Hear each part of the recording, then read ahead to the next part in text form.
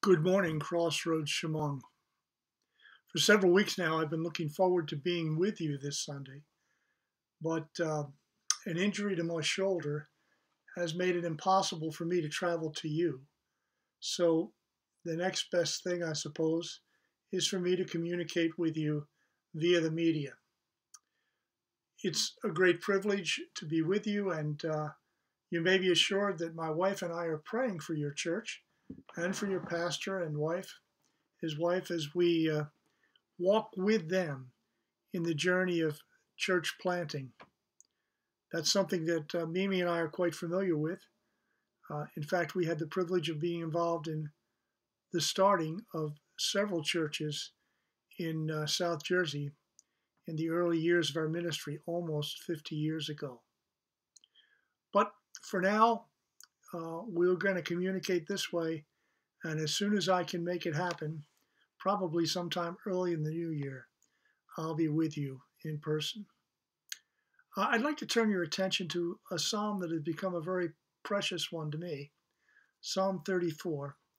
And I want to read for you uh, just the first 10 verses of this psalm. I will extol the Lord at all times. His praise will always be in my mouth. My soul will boast in the Lord. Let the afflicted hear and rejoice. Glorify the Lord with me, and let us exalt his name together. I sought the Lord, and he heard me, and delivered me from all my fears. Those who look to him are radiant. Their faces are never covered with shame. This poor man cried, and the Lord heard him and delivered him, saved him out of all his troubles. The angel of the Lord encamps around those who hear, fear him, and he delivers them. Taste and see that the Lord is good. Blessed is the man who takes refuge in him. Fear the Lord, you his saints, for those who fear him lack nothing. The lions may grow weak and hungry, but those who seek the Lord lack no good thing. Father, help us this morning as we consider your word. Teach us what we need to learn and help us to grow in our knowledge of you and in our walk with you. Now, it's been many years ago since Mimi and I had young children, but my favorite thing to do with them when they were young was to read to them. I always loved to read books to my children. My youngest son is six foot three inches tall. He's uh, an Army veteran, uh, has been a, a, a, Apache helicopter pilot in three overseas campaigns with the Army, and he's too big to read to anymore. I do have 10 grandchildren, but even the youngest of them now is in middle school, and it's no longer cool for grandpa to read to him. I have four great grandchildren, but they all live in Australia. And so I don't get much opportunity to read books to children anymore. So I wonder if you'd indulge me and let me read just a few pages of one of my favorite children's stories of all time. It's called Alexander and the Terrible, Horrible, No Good, Very Bad Day. And it goes something like this I, went to sleep with gum in my mouth. Now there's gum in my hair. And uh, when I got out of bed this morning, I tripped on the skateboard and by mistake I dropped my sweater into the sink while the water was running. And I could tell it was going to be a terrible, horrible, no good, very bad day. At breakfast, Anthony found a Corvette Stingray car kit in his cereal box. And Nick found a junior undercover agent code ring in his cereal. But the only thing in my cereal box was cereal. I think I'll move to Australia. In the carpool, Mrs. Gibson let Becky have a seat by the window. Audrey and Elliot got seats by the window, too. I said I was being scrunched. I said I was being smushed. I said if I don't get a seat by the window, I'm going to be car sick. No one even answered. I could tell it was going to be a terrible, horrible, no good, very bad day. At school, Mrs. Dickens liked Paul's picture of the sailboat better than my picture of the invisible castle. At singing time, she told me I was singing too loud, and at counting time, she told me I left out 16. Who needs 16? I could tell it was going to be a terrible, horrible, no good, very bad day. I could tell because Paul said I wasn't his best friend anymore. He said that Philip Parker was his best friend and that Albert Mayo was his second best friend, and I was only his third best friend. I hope you sit on a tack, I said. I hope the next time you get a double decker strawberry ice cream cone, the ice cream falls off and lands in Australia. It was a terrible, horrible, no good, very bad day. That's what it was because after school, my mom took us all to the dentist, and Dr. Fields found a cavity just in me. Come back next week, he said, and I'll fix it. I said, Next week I'll be in Australia.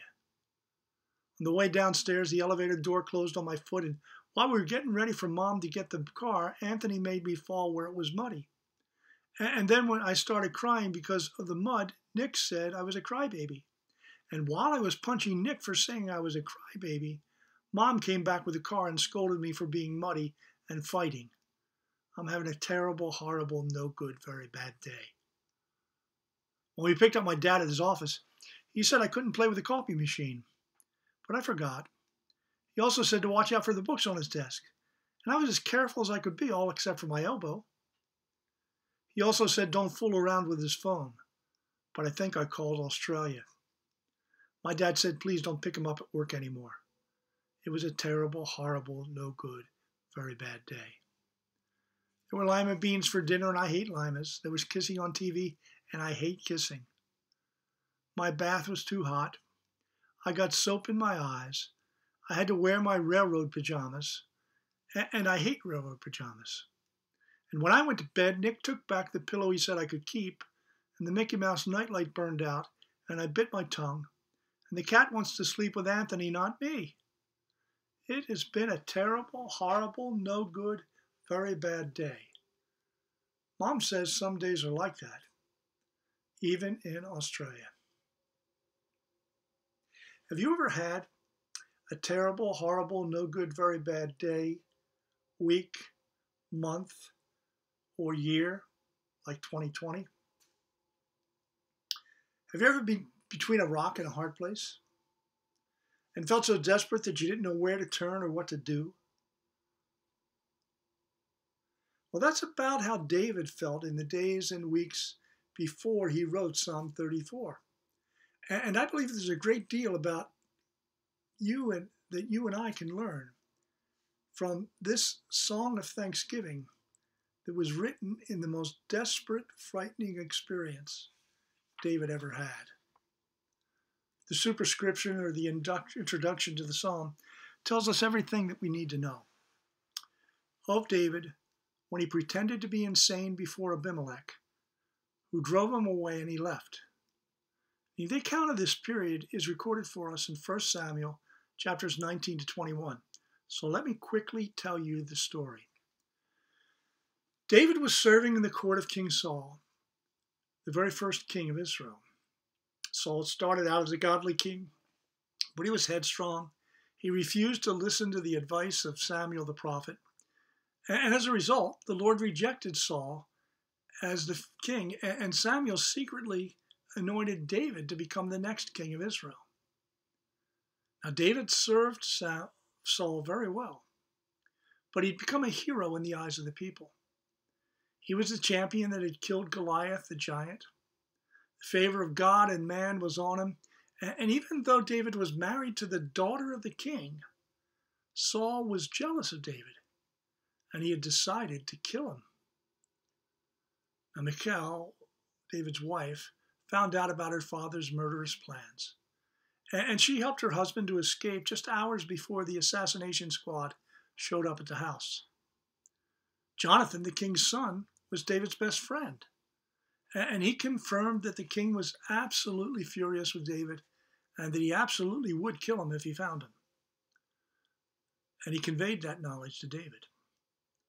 So, not knowing where else to go, David fled to the priest Ahimelech. He didn't want to involve the priest in his troubles, So David told him that he was on a secret mission for the king.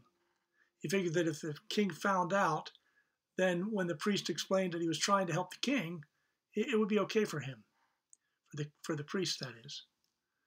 But uh, it didn't quite work that way. David asked the priest for some food and for any weapon that he might have around. So Ahimelech the priest gave David the food right off the, the table of showbread. It was food that only the priests were supposed to have, but he gave it to David. And he gave him the only weapon that he had in his possession, which happened to be the very same sword that David had taken from the body of Goliath the day he cut his head off and killed him. Well, when King Saul found out, the lie that David had told didn't help the priest at all. In fact, King Saul had the priest murdered, and his entire family was murdered, all except for one son who got away and eventually joined David. And all the other priests who were there at Nob, they lost their lives as well, and their families as well. So David's a fugitive now. He's lost his wife, he's lost his best friend. The king's secret police are hot on his trail. The priest who's helped him has now been murdered.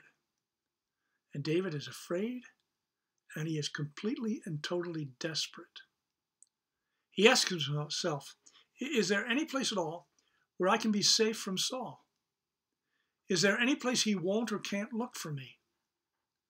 And then he thinks, The only possible place would be in the court of the Philistine king, Abimelech, King Achish. They called all their kings Abimelechs, like Caesar.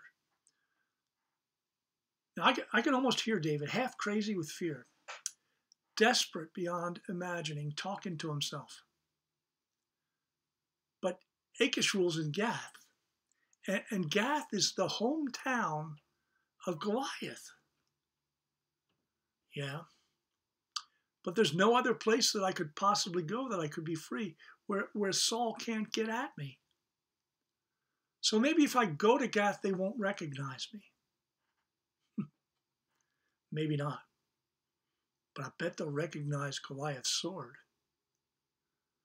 Now, the Bible doesn't actually tell us this.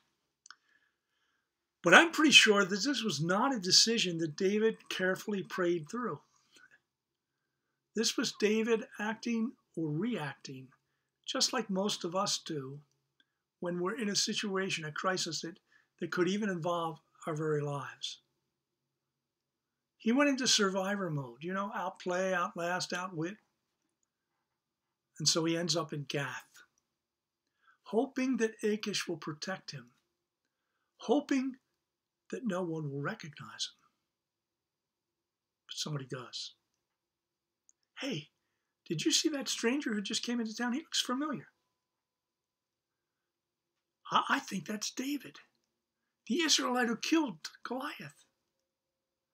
And, and look, he's got Goliath's sword. Take him to the king. now David's gone from the frying pan into the fire. But he's got one last trick up his sleeve. In the ancient world, in many different cultures, including this one, uh, they kind of thought it was bad luck to harm people who were crazy. You didn't mess with madmen or mad women because sometimes it was the gods who'd made them mad and uh, they were messengers of the gods. So, just to be sure that you didn't offend the gods, when you came across people who were mentally disabled or mentally ill, you left them alone. You didn't bother them because you didn't want to anger the gods. And uh, so, David seeing no other way out of his dilemma, decides to act like he's crazy. He starts slobbering down his beard. He starts scratching at the walls, mumbling to himself, acting like he's crazy. And I rather suspect that at the very same time, he's also sending up a very desperate foxhole prayer. Oh God, please help me. I've really got myself in trouble this time. You got to help me. And it works.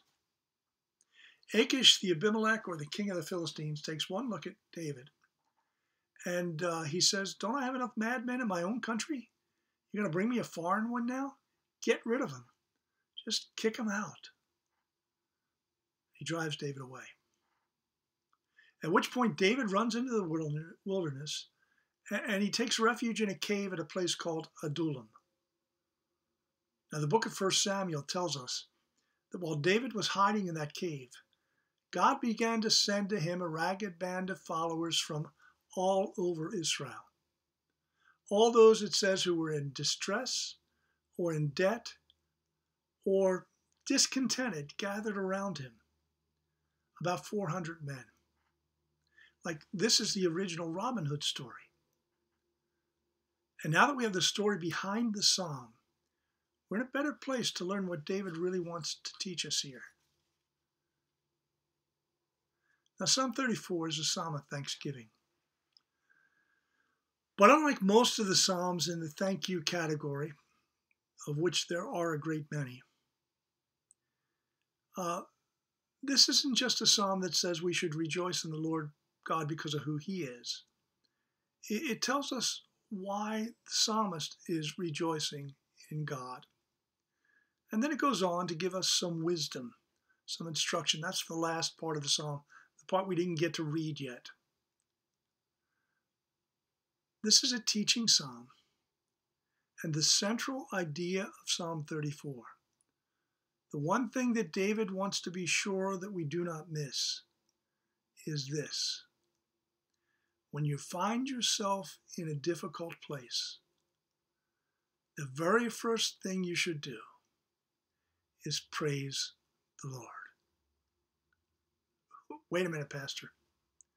Are you telling me that when I'm caught between a rock and a hard place, between the king of the Israelites and the king of the Philistines, when I've run out of money, when I've run out of resources, when I've run out of time, and when I find myself all alone with no one there to help me, my first reaction should be to praise the Lord? Yes, that's exactly what I'm saying. And I'm saying it because that's exactly what the Bible consistently tells us to do. Think about 1 Thessalonians 5:18. Give thanks in all circumstances, for this is God's will concerning you or James 1 2. Consider it pure joy when you have to face trials of many kinds. How about 1 Peter 1 6? 1 Peter, a book written to people who had been caught in the first great persecution wave initiated from Rome when Nero decided that he didn't like Christians and he wanted to kill them, light up the streets of Rome at night with their carcasses. They're spread all over the empire, and Peter writes to them In this you greatly rejoice, even though now, for a season, if need be, you're in heaviness through all kinds of trouble. Friends, David didn't begin his flight from King Saul with praise and rejoicing on his lips. He began his flight in abject terror. Panic and fear were the only emotions he was feeling. Those are emotions that you and I are pretty familiar with. But this experience taught David some things, and he wants us to learn what he learned. So here are the three reasons that you and I can rejoice when all the odds are stacked against us. Reason number one we can rejoice because God hears our prayers. I sought the Lord, David says, and he heard me and delivered me from all my fears. At some point, in the midst of this terrifying experience, David cried out to God one of those foxhole prayers that we so regularly shoot up when we suddenly realize we're in trouble and there's no way out. Oh God, help me now. Hear my prayer. He does. Now, if I were there with you, I could have stopped the service right here and ask you to tell me how many of you have had the experience of knowing that you were in big trouble in way over your head. You shot up one of those foxhole prayers, and you know right now, beyond a shadow of a doubt, that God heard you and God answered you. Yeah, we could spend the whole day together listening to those stories. It'd be pretty edifying. And I could add two or three of my own. But I'm not there today. But I do want to say this. Friend, if you think right now that God has abandoned you, that he might listen to other people's prayers, but he's not listening to your prayer, I understand why you might feel that way. David sure did. I certainly have. But then David says, This poor man cried, and the Lord heard him and delivered him from all his fears. If you have stopped praying right now because you don't think God's, God's listening to you, please know this God can hear you. God does hear you.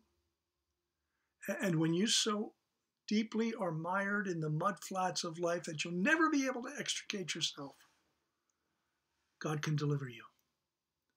If you call on Him, He will hear you. Here's reason number two we can rejoice because we're never really alone. David says, The angel of the Lord encamps around those who fear him, and he delivers them. Now, David thought he was all alone in the city of Gath. And he thought he was all alone again when he was in the cave of Adullam. But now he understands that he was never really alone. The angel of the Lord was with him. Now, we don't have time to do this this morning. But if I were to take you from the beginning of the Old Testament right through to the end of the Old Testament and examine every single place where that phrase, the angel of the Lord, shows up, I think you would very quickly see with me that in almost every case, maybe in every case, the angel of the Lord turns out to be none other than Jesus Christ himself in a pre incarnate experience. It was Jesus that Abraham met under the oaks of Mamre. It, was Jesus that Solomon met, or, or excuse me, that Joshua met under the walls of Jericho.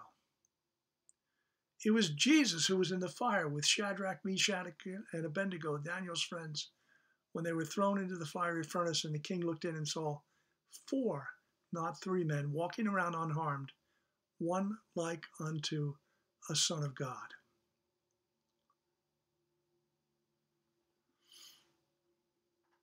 A friend of mine once told me a story.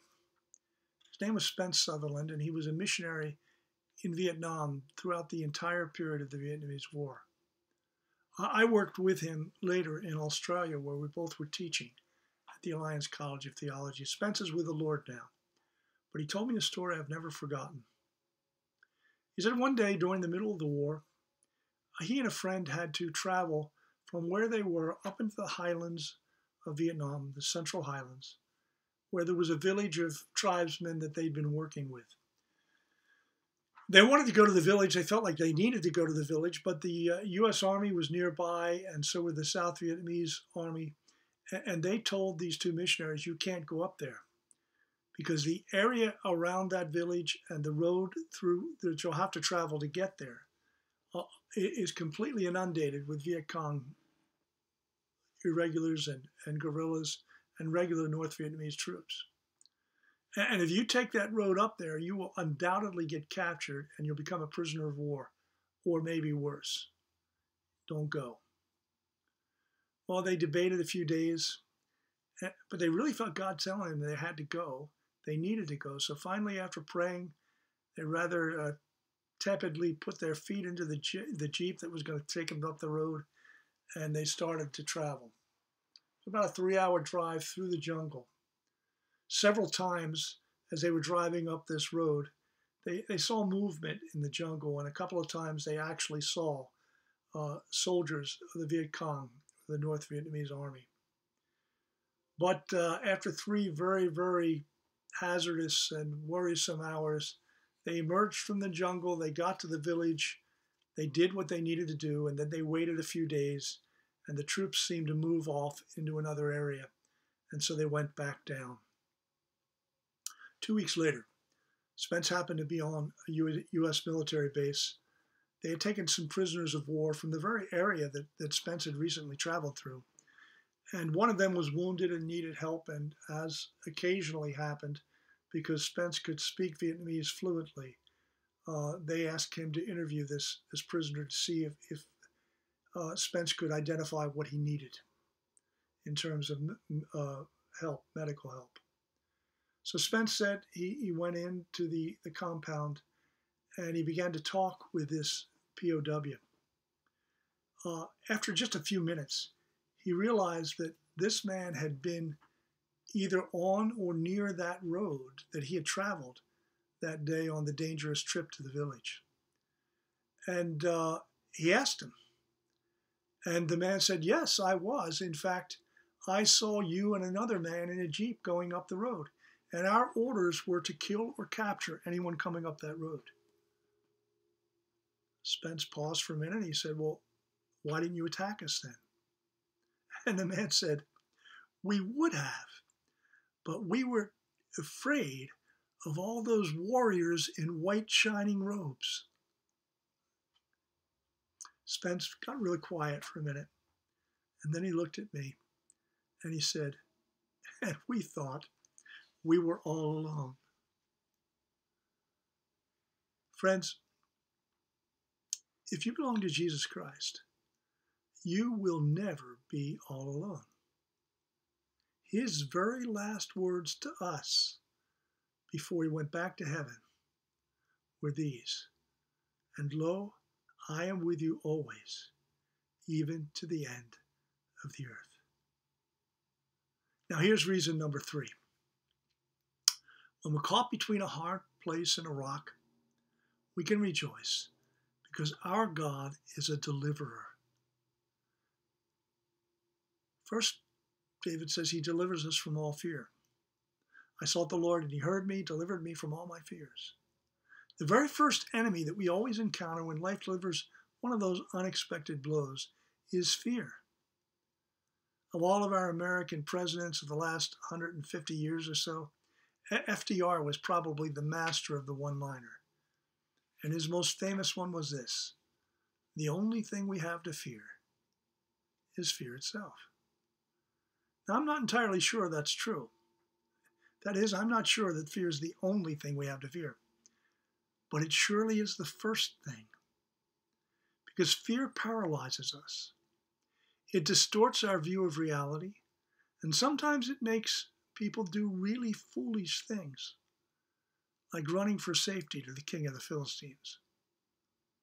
But when you reject fear and instead take the time to rejoice in the fact that the Lord God is your God, you put yourself in the place of Psalm 27, another one of David's Psalms, that uh, starts with these words The Lord is my light and my salvation. Whom then shall I fear? And the answer, of course, is no one. No one. And he delivers us from our foes. Verse 7 The angel of the Lord encamps around those who fear him and he delivers them. And he delivers us from all want. Verse 9 Those who fear him lack nothing. There have been, and I suspect there will be more times when I will not have had everything I wanted. But the promise of God's word is that he will always give me what I need. Paul says it this way my God will supply all of your needs according to his riches in Christ Jesus.